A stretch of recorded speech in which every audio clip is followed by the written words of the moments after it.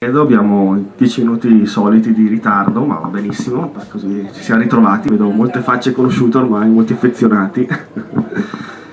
Bene, siamo all'ultima serata per quanto riguarda le lezioni teoriche, tecnicamente sulla storia della Valle Camonica. Ecco, molti di voi ci hanno seguito fin dall'inizio, con eh, lezioni che sono partite con l'arte rupestre della Valle Camonica, quindi periodo protostorico, poi abbiamo parlato di eh, epoca romana, l'ultima volta sabato scorso abbiamo parlato invece di Medioevo, oggi invece andiamo a concludere con gli ultimi 500 anni di storia della Val Camonica. Ovviamente più ci si avvicina al periodo odierno, più naturalmente eh, il periodo cronologico diventa ristretto perché le informazioni diventano sempre maggiori. Infatti vedremo che oggi in verità parliamo di solamente 500 anni di storia, ma di cose da dire ce ne sono veramente avagonate, in verità non, non avete idea di quanto ho dovuto tagliare, che, che purtroppo ecco, sarà probabilmente occasione di altre, eh, di altre esperienze del genere, spero e suppongo. Ad ogni modo, appunto, eh, la serata di stasera si chiama Il Leone di San Marco, i secoli d'oro della Repubblica di Venezia.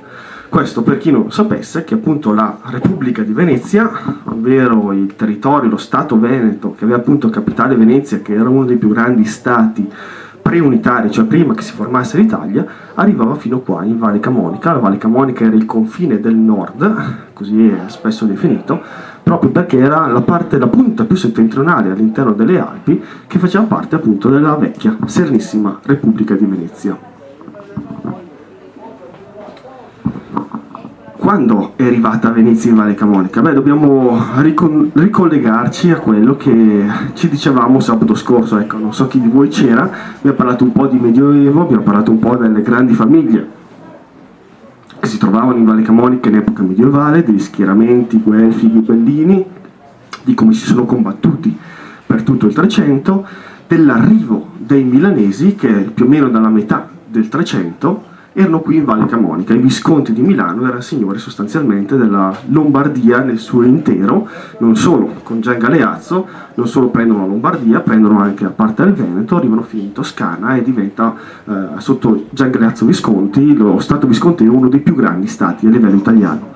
Poi con la sua morte nel 1402 appunto questo sistema collassa e pian piano verrà smembrato perché le varie parti guadagneranno una forma autonoma e sempre più forte soprattutto Venezia, che eh, dall'inizio del 400 si espande molto, molto decisa nell'entroterra italiano, quando prima era solamente legata ai suoi territori, ai suoi possedimenti marittimi.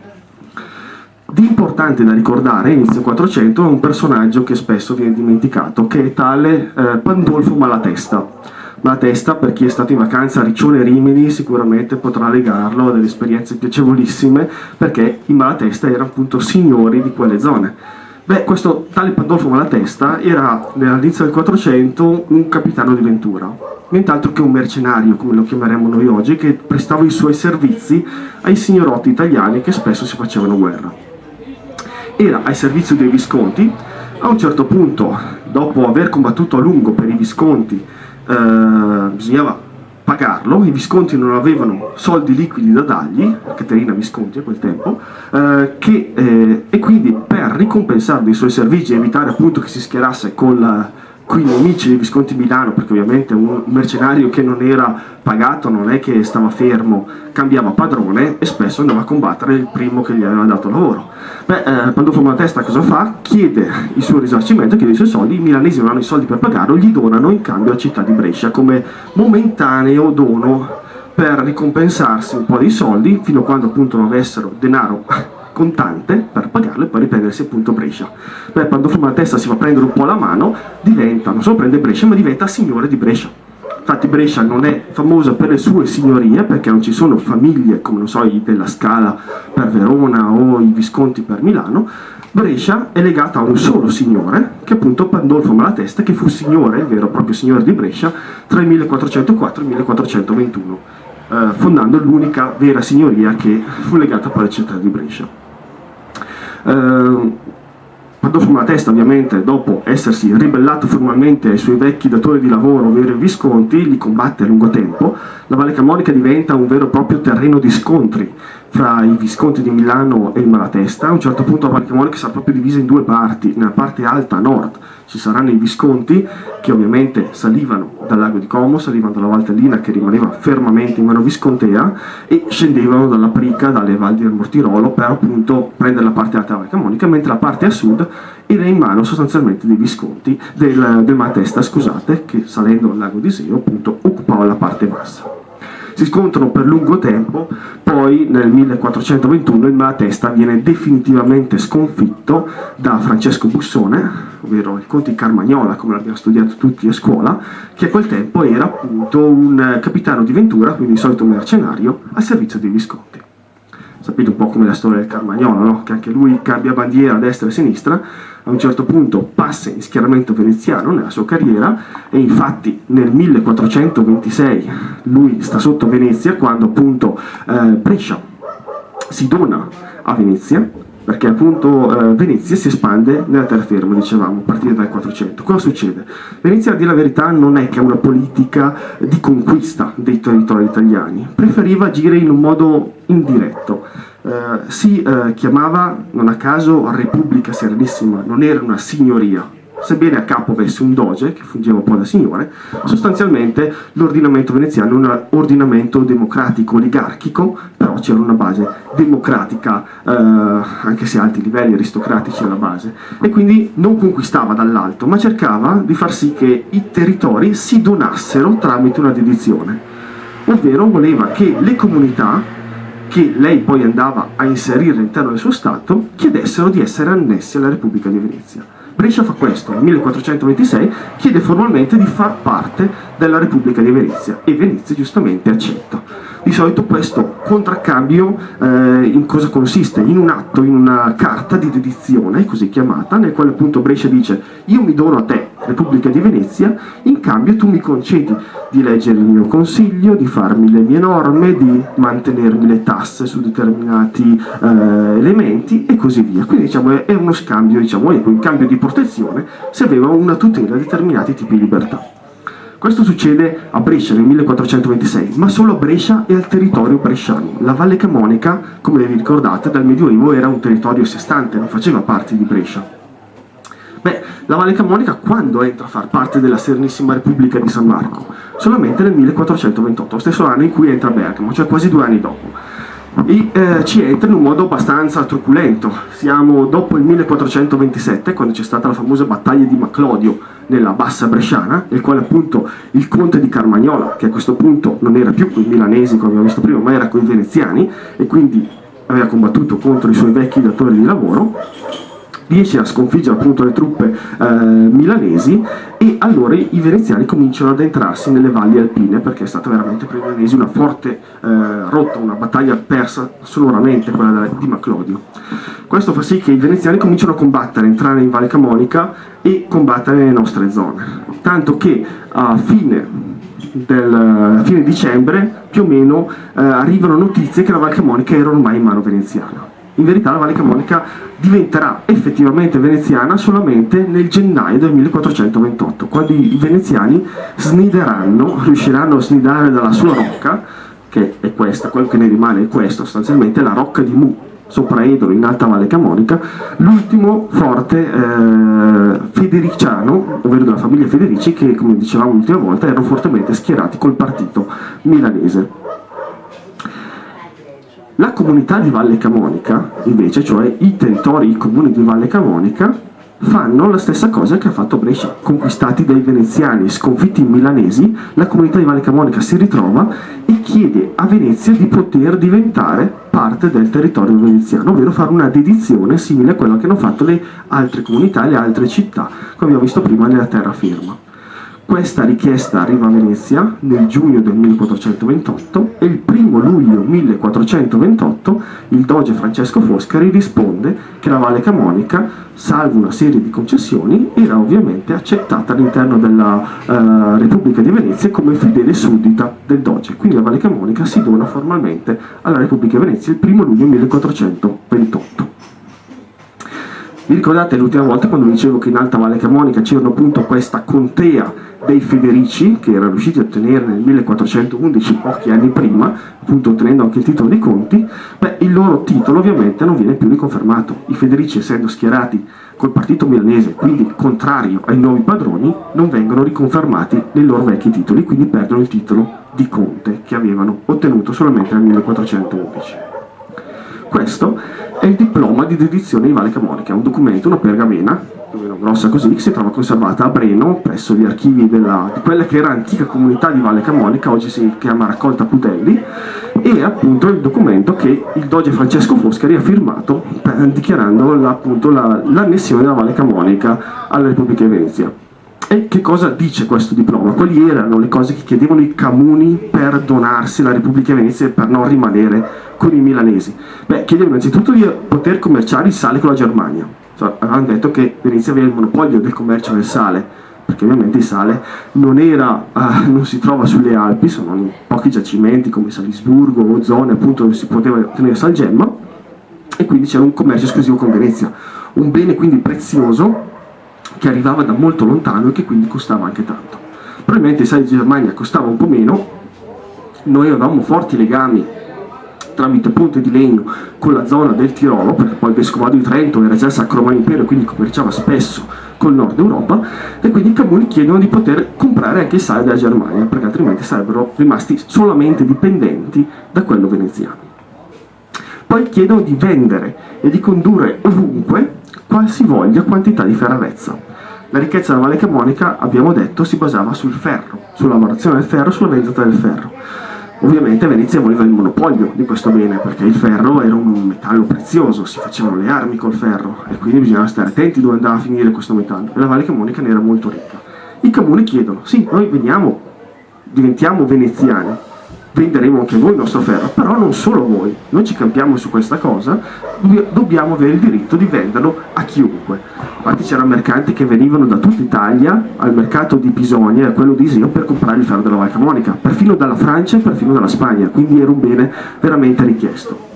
E questo in epoca antica, quindi non recente. Poi i comuni chiedono di avere degli statuti, dei decreti, degli orientamenti, sia civili che criminali, come quelli che avevano avuto nel Medioevo, ovvero non vogliono dipendere dal diritto, dalle leggi veneziane, ma i Valle Camonica, abbiamo già detto che a metà del 300 si era formati degli statuti, sia civili, quindi di diritto civile, che criminali, ovvero di diritto penale, con delle pene con delle sanzioni, tipiche della Valle Camonica, che era diversa da quelle di Brescia, di, della Val Trompia, della Val Sabbia, della, uh, della Val di Scalve, erano tipiche della Val Camonica e questi statuti dovevano rimanere così come erano stati decisi dai comuni, non potevano essere imposti altri statuti dall'alto. State un po' oggi è una cosa così inconcepibile che una provincia abbia una legge diversa da quella dello Stato italiano. Beh, qui è quello che stanno chiedendo sostanzialmente. E Venezia gliela concede. Oltretutto, un altro dettaglio, e questo si riconduce al tema dell'autonomia di cui parlavamo l'ultima volta, naturalmente divisi questi popoli alpini che ci tengono veramente molto, beh, la Valle Camonica chiede che la comunità e gli uomini della Valle Camonica si ritengano e si riconoscano in perpetuo separati dalla città di Brescia, di Bergamo e dai loro distretti. La Valle Camonica doveva rimanere un territorio a sé stante, non doveva essere né bresciana né bergamasca. E questo diciamo, è un punto molto saldo che è stato confermato dal privilegio del 1428, ma che vedremo verrà pochi anni dopo leggermente mutato. Infatti il capitano di Valle Camonica non sarà più un nobile veneziano, come era appunto nel 1428, ma invece verrà dalla città di Brescia per un motivo un po' diverso. Velocemente, per chiudere un po' il quadro, prima di parlare nello specifico dell'epoca veneziana che ci interessa oggi, in verità l'epoca veneziana parte per la Val Camonica dal 1428 e arriva fino all'arrivo di Napoleone, nel 1797, praticamente tutta intera. Non ci sono grosse interruzioni, a parte appunto una piccola parentesi che avviene nel 1509 quando appunto con eh, la Lega di Cambrai, Venezia, di Cambrai, la Lega, eh, la Venezia appunto perde tutti i suoi territori nel nord Italia un periodo che dura appunto dal 1509 al 1516, in cui Venezia non ha più neanche un territorio in Nord Italia perché viene assalita da una coalizione di potenze guidate appunto dal Papa e eh, perde praticamente tutto. però nel 1516 recupera esattamente tutto quello che aveva perso. Appunto, non sto qui a raccontarvi i dettagli della storia perché non ci interessano nello specifico per quanto riguarda la Val Camonica, era solamente per dire che appunto partendo dal 1428 fino al 1797, per oltre 300 anni, possiamo considerare la Val Camonica veneziana e infatti vedremo che molte cose che noi vediamo ancora oggi all'interno dei nostri abitati, nei nostri centri storici, risalgono in gran parte in questo periodo. Noi ce li siamo completamente dimenticati, a volte ci perdiamo a raccontarci di Medioevo, quando in verità probabilmente il periodo che abbiamo sempre più sott'occhio è il periodo veneziano, di cui in verità conosciamo molto molto poco.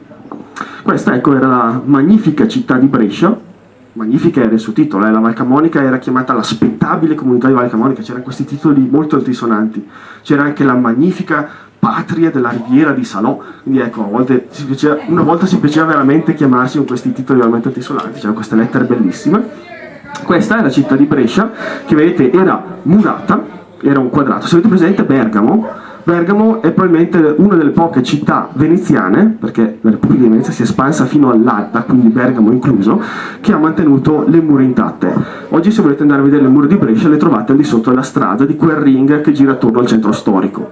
Purtroppo gran parte delle mura di epoca antica sono state rase al suolo, anche a Verona ha avuto lo stesso problema, ma così Milano, così, eh, così Verona, così eh, Padova, eccetera, eccetera.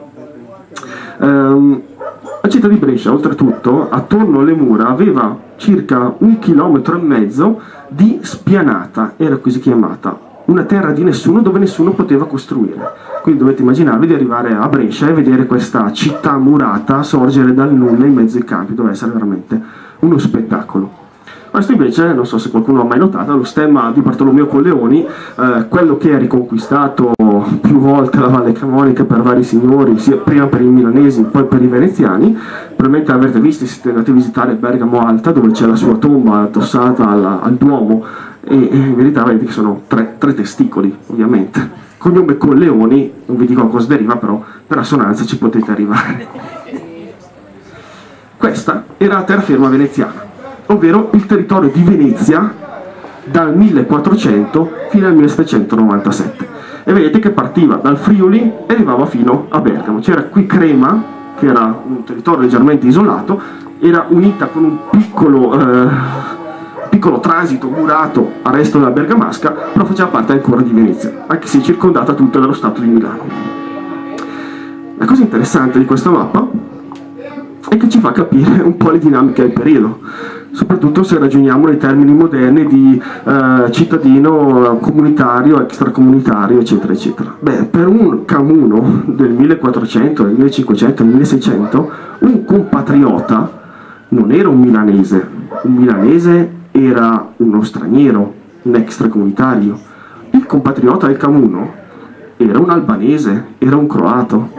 Quindi immaginatevi anche qui che prospettiva strana rispetto ai giorni nostri.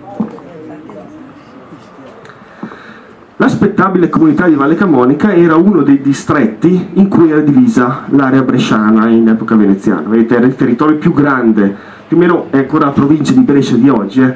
però vedete, la Valle Camonica ne occupava una bella fetta nella parte alta, poi c'era l'altra grande fetta della, della, dell'area bresciana che aveva forte autonomia, era appunto la magnifica patria della riviera di Salò poi c'erano le altre due valli, Val, Val eh, Trompia e Val Sabbia, che avevano una loro identità ma era, gravitavano molto fortemente attorno a Brescia, e poi il territorio di Brescia che stava appunto nella pianura. La Valle Camonica si eh, amministrava in un modo separato da Brescia, era divisa, dicevamo l'ultima volta, in pievati o in pievanati, ovvero c'erano delle pievi che fungevano un po' anche da divisioni amministrative eh, ricalcavano un po' le vecchie pievi medievali che avevano una funzione primariamente legata all'aspetto religioso, successivamente diventano proprio dei distretti amministrativi. Tanto che appunto alle pievi normali religiose che erano Edolo, eh, erano Cemmo, erano Cigliate ed erano Rogno, si vanno a creare delle pievi puramente amministrative per questioni appunto da un lato eh, di eh, necessità, visto che una pieve creata dal nulla è quella di D'Alegno, cioè l'Alta Valle Camonica, quindi un territorio il più estremo della Valle Camonica, doveva avere certi privilegi perché era potenzialmente un, un, rischio perderlo, poteva essere una testa di ponte per eventuali nemici che potevano scendere in Valle Camonica, e l'altra invece era curiosamente Borno. Borno viene eletta pieve, la famosa pieve di Borno e d'Alegno, che è una pieve inesistente, ma aveva solamente una funzione politica amministrativa, perché Borno probabilmente era un paese molto potente, molto popolato e quindi aveva un peso demografico non indifferente nella comunità di Valle Camonica in epoca antica. Un'altra cosa interessante, oltre a questa differenza distrettuale, è che in Valle Camonica la famiglia Federici, che abbiamo detto essere la più importante in epoca medievale, aveva un peso specifico molto importante ed era spesso considerata come un paese o come una vera e propria pieve. Tanto come appunto Borno, come Cemmo, come Edolo, c'era anche la pieve Federici, ovvero della famiglia Federici. Probabilmente perché erano innanzitutto tantissimi, ma oltretutto potentissimi questi Federici qua in Valle Camonica. E infatti dal 1477 sono considerati come uno dei sei pievanatici della Valle Camonica. Durante l'epoca veneziana dobbiamo considerare che però i privilegi di questi nobili, che durante il Medioevo hanno fatto un po' il buono e il cattivo tempo, se ricordate l'ultima volta si combattevano, facevano strage, andavano a saccheggiarsi, perché ovviamente c'era anche una situazione abbastanza anarchica con una valle molto frammentata, beh, durante il periodo veneziano in cui c'è un consolidamento degli organi amministrativi della Valle Camonica, queste famiglie potenti perdono pian piano il loro potere e si inseriscono invece nella burocrazia statale. Diventano notabili, diventano notai, diventano eh, dottori, rimangono sempre famiglie con persone importanti però ovviamente non sono più i signorotti che facevano il buono e il cattivo tempo nel Medioevo. A capo della Valle Camonica chi c'era? C'era il cosiddetto capitano di valle, questa è la sua casa, si trova ancora oggi nel centro storico di Breno, in verità ormai ha perso un po' il, eh, i suoi colori storici, c'era probabilmente un grosso fresco sulla facciata, si nota ancora un leone della città di Brescia, un leone rampante, se avete presente quello che c'è sulle magliette del Brescia Calcio, ecco, eh, stava sempre in Brescia, qui ci sono un paio di stemmi dei capitani di Valle Camonica, perché chi era il capitano? Era un membro eletto tra le famiglie no nobili di Brescia che veniva mandato per un anno a essere il magistrato supremo della Valle Camonica. Ogni anno cambiava e quindi ogni anno c'era una persona diversa, di un cognome diverso, di una famiglia nobile diversa, però ogni volta che arrivava questo capitano si faceva dipingere il suo stemma sulla facciata. Se andate ad esempio a vedere a Vilminore di Scalve i podestà, i rettori che c'erano a Vilminore di Scalve, che era una comunità di valle simile alla comunità di Valle Camonica, beh, nel palazzo della comunità di Vilminore di Scalve trovate eh, tutta una serie di stemmi di nobili, di capitani che però non provenivano da Brescia ma da Bergamo. La Valle Camonica, se vi ricordate prima, aveva, era riuscita a strappare nel 1428 il, eh, la dedizione al doge Francesco Foscari nella quale si diceva che doveva essere in ogni modo separata e non dipendente sia da Brescia che da Bergamo. Perché allora si parla di un capitano bresciano? Perché arriva questa persona da Brescia quando i comuni erano riusciti a separarsi completamente? Beh, perché nel 1440 succede un fatto abbastanza importante. Eh, I milanesi nel 1438 avevano cominciato a riconquistare i territori che avevano perso dieci anni prima più o meno e riescono a porre un forte assedio attorno alla città di Brescia. Brescia resiste per moltissimo tempo, eh, si racconta che era un assedio terribile, all'interno avevano finito le derrate alimentari, si era mangiati qualsiasi cosa, si diceva che non si sentiva più neanche un cane abbaiare a Brescia perché aveva mangiato veramente di tutto. Eh, la città stava per cadere ma continuava a rimanere fedele a Venezia. A un certo punto quando erano in procinto appunto di aprire le porte ai milanesi perché altrimenti sarebbero morti tutti di fame, cosa succede? I santi, Faustino e Giovita, protettori di Brescia, compaiono sulle mura e salvano la situazione. Niccolò Piccinino si spaventa, non riesce più a attaccare guerra alla città, smonta l'assedio e si ritira a Milano e Brescia, diciamo, riesce a sopravvivere a questo assedio. Ovviamente è un successo enorme, i santi Faustino e Giovita vengono portati in trionfo, Brescia ottiene il titolo di Brixia Fidelis, non so se avete mai notato che spesso accanto al, eh, allo stemma di Brescia si trova appunto Brixia Fidelis, non è che è fedele perché era fortemente cattolica, ma perché era fortemente fedele a Venezia e quindi ottiene questo titolo proprio per questo grosso assidio a cui è riuscita a scampare. E per ringraziare questo, eh, questo grosso assedio, questo grosso sforzo che la città di Brescia sia riuscita a fare contro i milanesi, Venezia è disposta a fare delle concessioni, concessioni che ovviamente va a mettere sulla spalla dei comuni. Brescia chiede di avere il podestà, la podesteria di Valle Camonica e Venezia non riesce a dire di no. E quindi dal 1440 i nobili che fino dal 1428 al 1440 venivano direttamente da Venezia e venivano qui in Valle Camonica ogni anno, non vengono più mandati da Venezia ma vengono scelti all'interno del Consiglio bresciano. La carica della Valle Camonica non era peraltro una carica molto ambita dai nobili bresciani, anche perché spesso i comuni erano ostili a questi bresciani, ovviamente li vedevano come un'imposizione dall'esterno, anzi continueranno per anni, per decenni, anche per secoli a richiedere un provveditore, un rettore veneziano piuttosto che uno bresciano, disposti perfino a pagarsi di tasca loro piuttosto che non sia bresciano.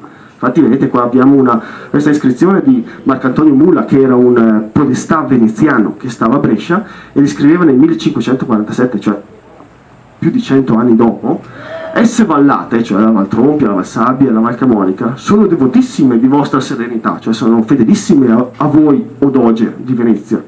Si contendano del gioco loro, cioè si accontentano di quello che hanno, eccetto la Valcamonica, che è retta da un reggimento mandato da Brescia, cioè che è retta da un capitanato mandato da Brescia, che però non ha l'autorità di poter far sangue, cioè non poteva eseguire condanne a morte in Valle Camonica, questo poi ne parliamo magari più approfonditamente, ma si poteva fare processo e assolvere però bramano uno provveditore veneziano e gli dariano salario conveniente salvando però la magnifica città di Brescia e le sue giurisdizioni. Cioè i Camuri erano perfino disposti a pagarsi di tasca loro questo podestà veneziano, comprese le spese di viaggio, pur di non avere un bresciano che stesse a capo della Valle Camonica.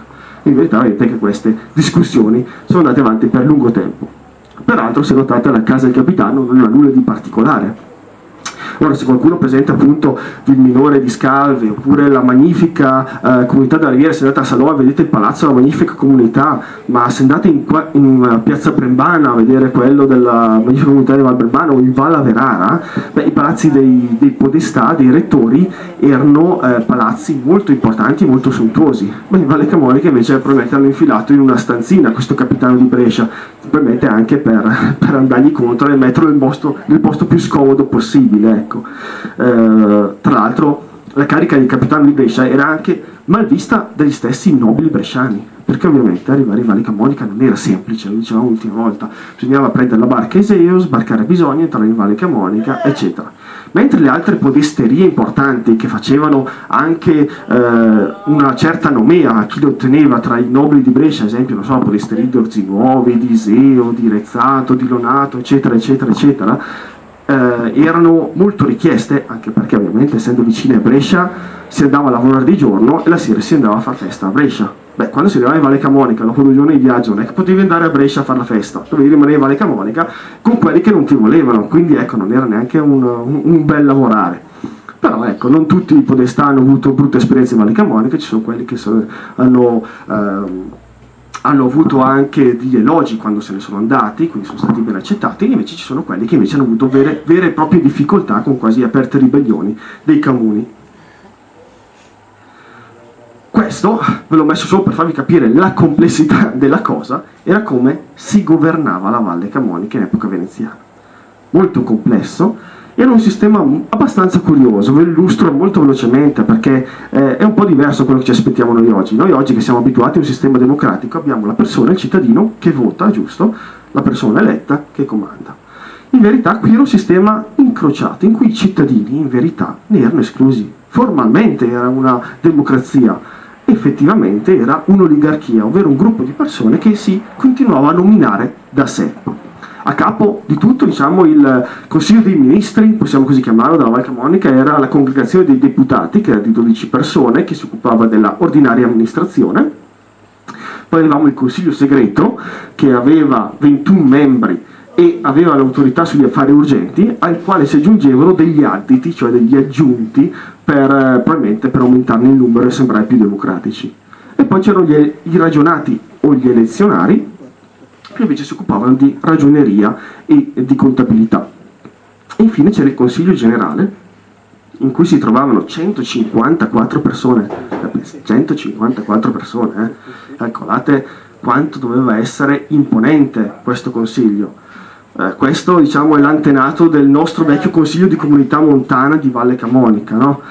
Il Consiglio di Comunità Montana di Valle Camonica, prima dell'ultima riforma, era il terzo organo deliberante più grande dello Stato italiano dopo la Camera e dopo il Senato. Quando si ritrovavano, tre, mi sembra che erano tre rappresentanti per comuni, per 40 comuni di Valle Camonica, immaginate quanti, quanti che erano a Breno quando dovevano votare. Adesso mi sembra che sia un rappresentante per comune, quindi li hanno falcidiati un po'. Però ovviamente viene fuori da qua, perché qui c'erano 154 membri, due membri per ogni comune, più due della famiglia Federici, che vedete la famiglia Federici e si trovava praticamente ovunque. Eh. C'era un membro fra gli elezionari, un membro, due membri fra il Consiglio segreto, un membro fra gli additi, due membri fra del Consiglio generale, quindi erano considerati quasi come un comune, qui un comune di una pieve, eccetera, più tutti i membri degli altri consigli, e invece cosa faceva questo Consiglio generale, che era il consiglio più grande? Nominava i ragionati e nominava i deputati. Però se vedete, i ragionati che erano nominati dal Consiglio generale nominavano il Consiglio generale e quindi in verità si nominavano tra di loro, cioè, non è che si, si sfuggivano, non è che c'era qualcuno sotto che poteva tirare dentro gente nuova, cioè non c'erano i grillini a quel tempo, eh, si poteva scappare. E vedete che oltretutto gli elezionari, che si chiamano così appunto perché facevano le elezioni degli altri, nominavano il Consiglio generale, nominavano gli aditi, nominavano il Consiglio segreto, era praticamente un sistema circolare che si autonominava e si portava avanti. Quindi una cosa molto curiosa, ecco, molto complessa, sembrava democratica a una vista perché coinvolgeva tante persone, ma in verità le persone erano tante, ma erano sempre le stesse. Questi sono gli statuti di Valle Camonica, ovvero la legge fondamentale di Valle Camonica. Se voi andavate a studiare diritto, dovevate studiarvi queste, queste leggi della Valle Camonica. Ci sono i primi statuti di cui si ha notizia, risalgono appunto al 300. I primi statuti interi che abbiamo, che possiamo leggere come si governava Val Camonica, eh, risalgono nel 1433, che sono stati poi ristampati a stampa, perché nel 1433 la stampa non esisteva ancora. Nel 1498 invece sono stati stampati con il sistema di Gutenberg, eh, quindi fatti in serie, sono stati riformati nel 1628, quindi sono stati aggiornati, e eh, riaggiornati nuovamente nel 1750.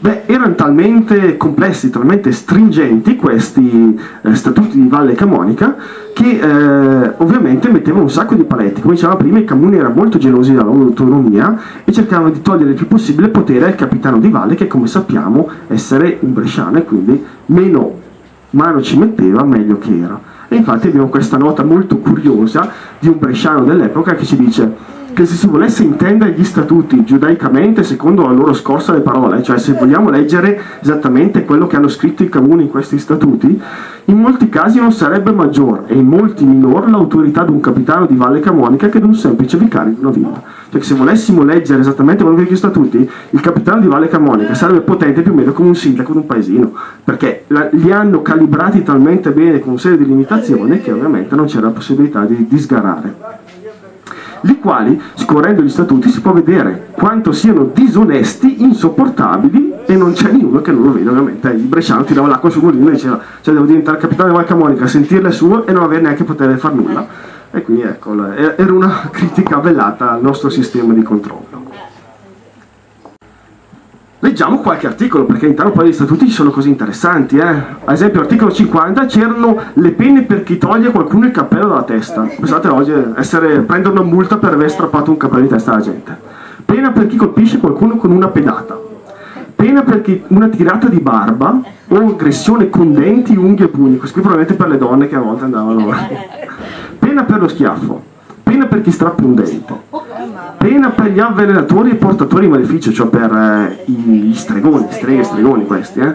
pena per gli eretici ovviamente, pena per sodomia, pena per bigamia, pena per violenza a una donna di onesti costumi, probabilmente donne di, onesti, di non onesti costumi non erano contemplate, pena per furto, uccisione di cani, giustamente, c'erano anche gli animalisti un tempo che a volte il cane questo invece è il sigillo di Valle Camonica, molto bello, questo qui era eh, il sigillo, quello che usavamo per timbrare i documenti eh, sulla cera, guardate che bello che è, lo stemma di Valle Camonica con l'aquila e il cervo, ma al centro dell'aquila c'è un leone di San Marco in moleca, cioè un leone di San Marco stretto su se stesso in moleca vuol dire in forma di granchio, che è una tipica uh, forma che prende il leone di San Marco nei documenti veneziani, qui si vede proprio la fedeltà della Valle Camonica alla Serenissima Repubblica espressa anche negli statuti, nel, nei, nei bolli.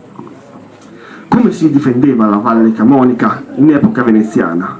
Beh, avevamo delle, delle, guardie, delle guardie che erano poste ai confini, perché anche in tempo di pace si tengono qualche guardia, qualche guardia, può essere dalle 2, alle 4, alle 8, alle 10, purtroppo non, non specificano, a Ponte di Legno, Monno e Corteno. Perché questi tre posti? Perché Ponte di Legno confinava con la zona del Trentino, ma anche a nord, con Bormio, Bormio, Valtellina, era tutta zona grigiona, era Svizzera e quindi era territorio straniero, non faceva parte della Serenissima Repubblica. Mentre vedete che non c'è nessuno a guardia con Bergamo. Bergamo, con la zona Val di Scalve, la zona eh, di Schilpari o di Azzone, ovviamente faceva parte della Repubblica di Venezia e quindi non c'era un confine in quella zona che doveva essere controllato. Da chi ha difesa la Valle Camonica? Dalle cosiddette cernide. Cernide deriva appunto da, da, cernita, da scelta. Cosa si faceva? Si chiedeva alle comunità, ai paesi locali di fornire una persona, questa persona veniva scelta e questa persona veniva mandata a fare il militare per le comunità questo era spesso un, un, onere molto pesante perché ovviamente una persona in meno era meno braccia da utilizzare per lavoro, per agricoltura e quindi spesso eh, si pagava una tassa, una multa piuttosto che mandare qualcuno a fare il servizio di leva militare. Ogni anno, o quando capitava, non spesso ogni anno, venivano fatte delle mostre ovvero veniva il rettore di Brescia, che era appunto il podestà veneto che stava in Brescia, veniva in Valle Camonica a visionare com'era lo stato di sicurezza dei confini e allora si facevano delle mostre, ovvero delle sfilate militari vere e proprie, in cui tutti gli abitanti della Valle Camonica, che erano stati scelti come cernite, sfilavano con i loro schioppetti, con i loro fucili, facevano finta di fare delle scarmaglie e poi ritornavano tutti a casa loro. E pensate per queste cernite che a volte erano fatte cemmo perché più o meno era a metà della Valle Camonica, venivano su persone da Pisogna, venivano, non Pisogna da, da, dalla bassa Valle Camonica, Pisogna era aveva una forma un po' particolare, essendo solo museo a volte era esclusa, ma ad esempio da, da Piancamuno in su e da Ponte di Legno in giù, quindi ci mettevano anche parecchio tempo per, per scendere fino a Pisogna, per scendere fino a Cemmo a fare queste mostre e ovviamente buttavano via una giornata di lavoro e aspettava il comune risarcire questa giornata di lavoro eh, che veniva persa. Capitava però che queste persone che ricevevano i soldi si avviavano sì del punto di legno verso Cemo, poi a Cemo ci arrivavano mai. E allora spesso arrivava la lettera di rimostranza dal, dal provveditore che doveva controllare diceva ma guardate che voi di Pontelegno non ci avete mandato giù nessuno e quelli di Pontelegno fa come no, noi abbiamo pagati, non sono arrivati e no, non sono arrivati e allora spesso succedeva che i soldi li davano ritorno cioè quando, perché ovviamente se li davi in anticipo arrivava giù li spendeva prima osteria che trovavi e poi non si muovevano più sono appunto cose che succedevano ecco di cosa si campava in Valle Camonica in epoca antica? boschi, pascoli, miniere. Ecco le tre sorgenti della vita camuna. Questi sono sostanzialmente i, beni di cui si, si campava in Valle Camonica. Pastorizia era soprattutto in voga in Alta Valle Camonica, dove i campi rendevano poco e quindi bisogna puntare sull'allevamento. I pastori scendevano allegramente nel piano, cioè scendevano al di sotto del lago di Seo, nella zona della, uh, della Bresciana, ma anche nel Cremonese dove ottenevano non solo il pascolo gratuito, ma persino grano in compenso del concime che lasciavano. Ovvero le, le pecore lasciavano concime d'inverno, quando si faceva la transumanza, e ovviamente per questo il, il, il coltivatore bresciano, che aveva appunto concimato le sue terre a gratis, in cambio gli dava appunto la possibilità di avere qualcosa d'altro a questi nostri pastori comuni. Quindi vedete anche qua questa osmosi che c'era fra il territorio eh, e, e la pianura sostanzialmente solo il comune di Pontilegno migravano a svernare 18.000 pecore. Quindi in verità doveva essere una cosa veramente imponente vedere passare queste mandrie sul fondovalle che andavano avanti e indietro a Valca Monica due volte l'anno. È interessante questa nota, scritta sempre nel 1554, quindi metà del 500, che ci dà un'idea di, eh, della situazione comune, di quante persone abitavano in Valle Camonica. Valle Camonica è molto abitata per il eh, termine del tempo circa 45.000 anime. Oggi siamo circa il doppio, eh? siamo in numeri altissimi, siamo circa il doppio. Qual per un terzo poco più dell'anno, fra castagni e grano, vive del suo. Per il resto poi se provvede del bresciano e del cremonese. Questa è una nota molto importante. Ovvero, in Valle Camonica, di quello che si coltivava, non ce n'era abbastanza. Se non c'era il commercio con la bresciana, se non c'era il commercio del ferro, qui si moriva di fame e questo diciamo, era un problema molto forte per la valle che ovviamente era così grande, così abitata perché appunto aveva la ricchezza di commerciare. Infatti questo vedete è l'unico forno del ferro fusorio, del ferro fusorio che è rimasto in Valle Camoni che si trova a Malonno, ce n'erano tantissimi una volta. E eh, serviva appunto per cuocere il ferro nelle miniere e appunto poi lavorarlo e venderlo sui mercati come abbiamo visto prima. Ha industria questa valle molto ferrarezza, lo dicevamo prima che spazza, cioè che sparge in Francia, in Spagna e per tutta l'Italia. Nel 1500 la Valle Camonica commerciava già con l'Europa il suo ferro. Grazie appunto a quel diploma di edizione che abbiamo visto prima che ci permetteva appunto di vendere ferro a chiunque, non solamente a Venezia. Qui per darvi un'idea vi ho fatto un elenco delle attività economiche dei comuni della Valle Camonica nel 1610. I pallini gialli indicano eh, quei comuni dove gli abitanti erano sostanzialmente stanziari, dove appunto potevano campare come contadini, come cavatori di pietra o cavatori di pietra intendo minerale, eh, quindi eh, di ferro, eh, con minatori, eh, oppure come commercianti. Vedete che gran parte della valle più o meno riusciva a sostentarsi. Poi ci sono delle zone, queste qui in rosso, ma anche quelle in arancione, in cui erano ibride, dove il terreno era talmente poco eh, produttivo per la coltivazione o talmente scarso di minerale di ferro, infatti vedete che sono tutte nella zona sinistra il ferro eh, nella zona destra, il ferro è tutto nella zona orobica della Valle Camonica, quindi nella costa eh, occidentale. Eh, da queste zone qui gli abitanti erano soprattutto dei pecorai quindi dei pastori che andavano appunto a svernare inverno nella Bresciana ed estate ritornavano ad alta quota. Erano quindi quasi nomadi, semi-nomadi, stavano sei mesi l'anno da una parte e sei mesi l'anno dall'altra. Sotto la Repubblica di Venezia vi è un boom per quanto riguarda l'arte in Valle Camonica, qui ne do solamente un accenno ma perché sono nomi veramente importanti. Eh, lascio perdere Ioannes da Volpino, che è questa figura particolare in metà del 300, su cui si sta ancora lavorando ancora oggi, però ovviamente abbiamo il Paroto, che probabilmente qualcuno di voi avrà visto esposto insieme alle Camonica che a Brescia l'anno scorso, che è stato riacquistato questo eh, politico che era stato venduto ancora il secolo scorso dagli americani, è rimasto in America per quasi 100 anni, adesso è stato ricomprato da una banca bresciana e quindi è ritornato nelle nostre zone, è originario della Valle Camonica. Abbiamo sicuramente fra i pittori artisti più importanti della Valle Camonica Giovanni Pietro da Cemmo, che è diciamo, il nostro, l'apice della nostra pittura locale, eh, lui vissuto fra, operato fra la fine del 400 e l'inizio del, del 500 e la sua prima opera si trova proprio qui a due passi annunciata e sarà poi eh, tema della visita della settimana prossima. Abbiamo poi Girolamo Romanino, che lo vediamo qui, zona di Pisonie, un artista stupendo anche lui, con questo stile molto soffuso, queste pennellate molto rapide. Era un, uh, un Van Gogh del, dell'epoca, ecco, era un uh, anticlassicista, era famosissimo quando è venuto qui a operare in Valle Camonica, quindi non, lui, no, non gli scarti avevamo qui in Valle Camonica, questo deve essere molto chiaro, erano persone veramente alla moda a quel tempo. Abbiamo Calisto Piazza, che veniva invece da Lodi, Lodi, ecco vi dico Lodi dovete immaginarvi eh, zone del, dello Stato di Milano, quindi per noi Lodi era un cittadino straniero, questo Calisto Piazza che veniva in, nella Repubblica di San Marco, no? Oppure Paolo da Carina il Giovane, Caglina si trova nella zona di, uh, della Valtrompia, e, uh, sia Carina il Giovane che anche il Vecchio hanno operato qui in Valle Camonica, sempre nel Cinquecento. Per quanto riguarda la religione, volevo dire invece due parole su, una, su delle confraternite che sono, sono, sempre molto importanti, sono sempre state molto importanti, quindi vale Camonica è bene conoscere.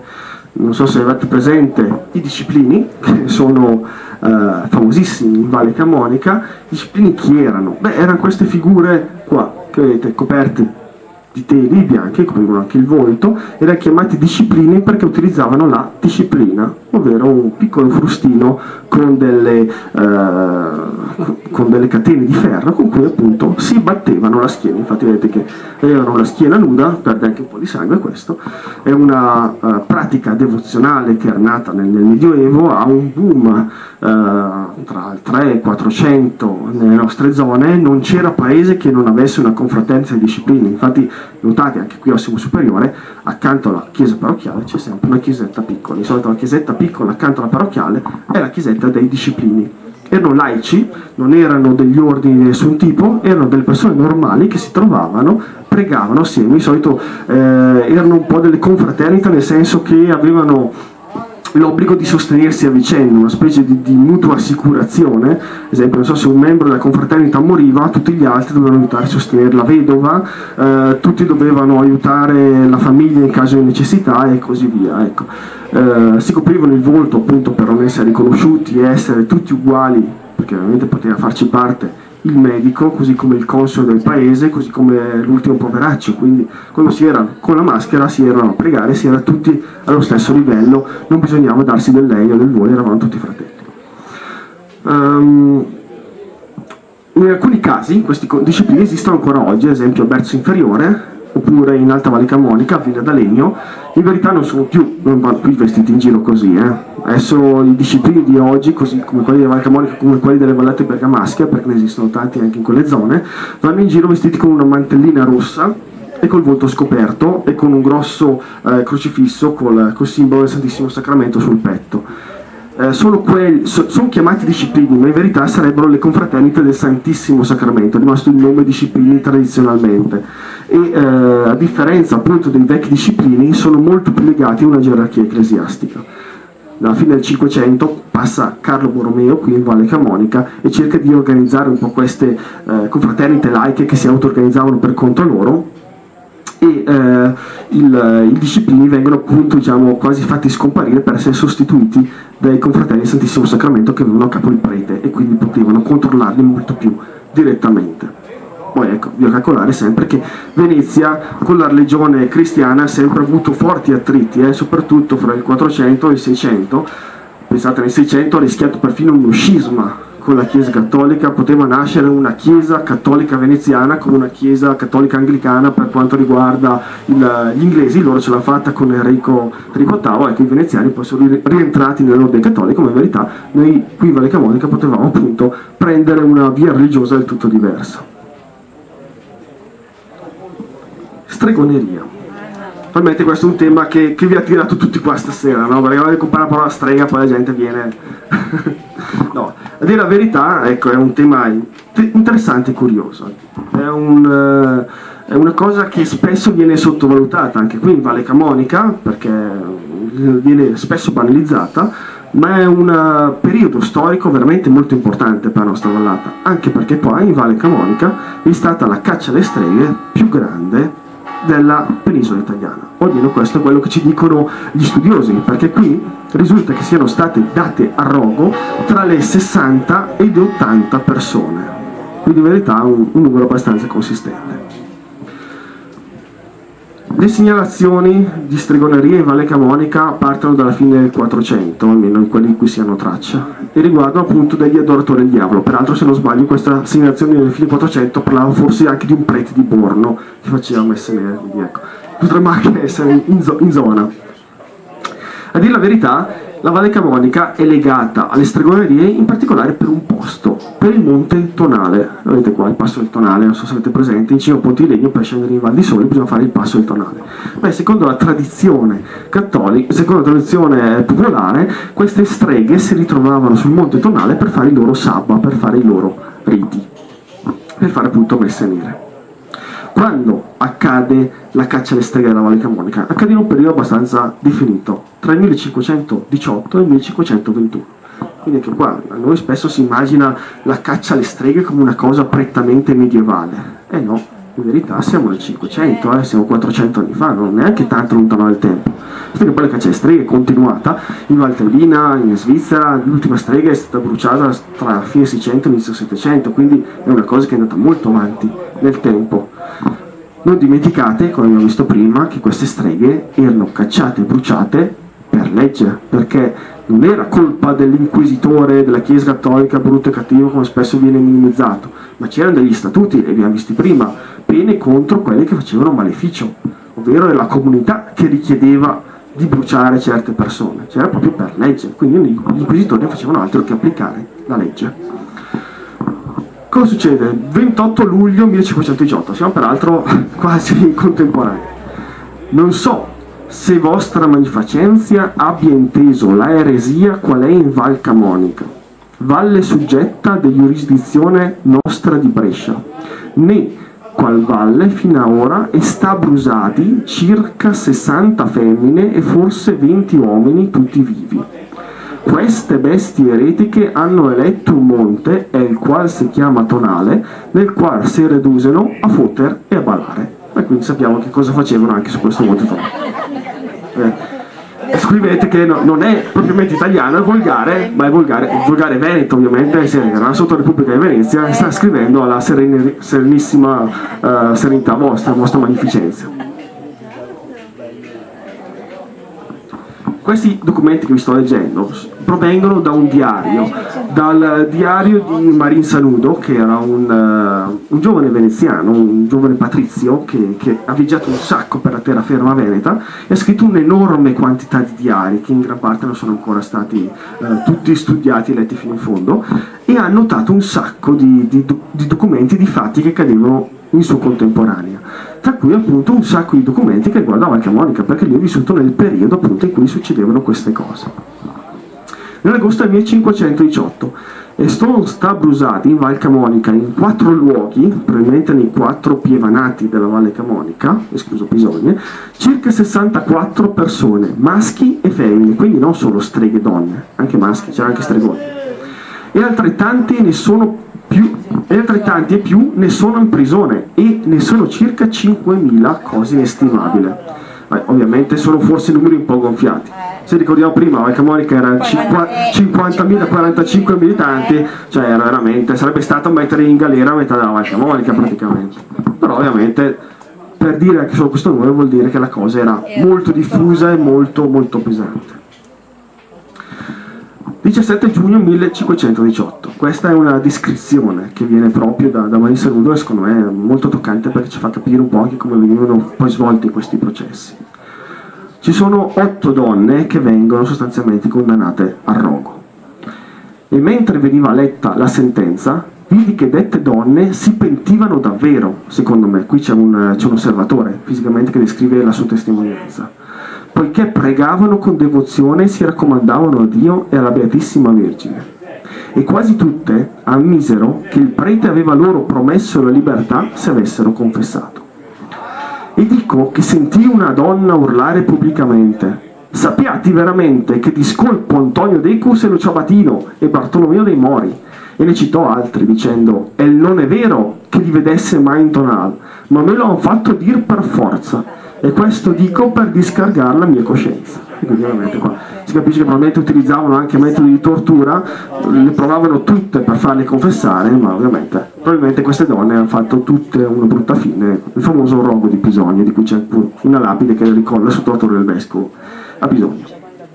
Il, il, la caccia ai streghe sostanzialmente finirà un paio di anni dopo, proseguirà eh, tra l'altro con una lotta eh, amministrativa tra lo Stato del Vaticano, lo Stato del Papa e la Repubblica di Venezia che si era imposta di fermare quest, questa, questi roghi che probabilmente avevano preso una piega indiscriminata, si bruciava gente probabilmente in maniera eccessiva e allora anche lo Stato di Venezia cerca di intervenire per evitare una, una decadenza de, della questione. Siamo nel 518 all'inizio vi, vi, raccontavo un po' cosa era successo nella storia di Valle Camonica che dal 1428 al 1797 la Valle Camonica rimane la Repubblica di Venezia eccetto una piccola parentesi in cui appunto con la Lega di Cambrai con, eh perde tutti i territori eh, del, della terraferma sostanzialmente, perde tutti i suoi territori in Italia. Beh, questo periodo è tra il 1509 e il 1516, siamo più o meno qua. Probabilmente Venezia non aveva ancora un polso completo sulla, uh, sui suoi territori appena riconquistati e ovviamente gli, gli inquisitori ecclesiastici spingevano un po' per fare il buono e il cattivo tempo da parte loro. E quindi ecco, eh, c'era anche un problema politico di fondo in questa caccia alle streghe che è da tenere sempre sotto, sott'occhio. La Valle Camonica, dicevamo, era vicinissima a territori che non facevano parte della Serenissima Repubblica di Venezia. Ad esempio, le tre leghe, ovvero lo Stato svizzero. Valle Camonica si trova qui, qui c'è l'idolo, questa è la Valtellina, ovviamente non i tedeschi, uh, questo Worms è Bormio, qui ci sono i terzieri della, della, Valtellina, che facevano tutte parti dei Grigioni. E come sapete, i Grigioni, dopo essere conquistati dopo aver conquistato la Valtellina, essendo i grigioni di religione protestante e quindi eretica, pongono sostanzialmente il confine fra il protestantesimo e il cattolicesimo sul crinale fra Edolo e la Valtellina. Un problema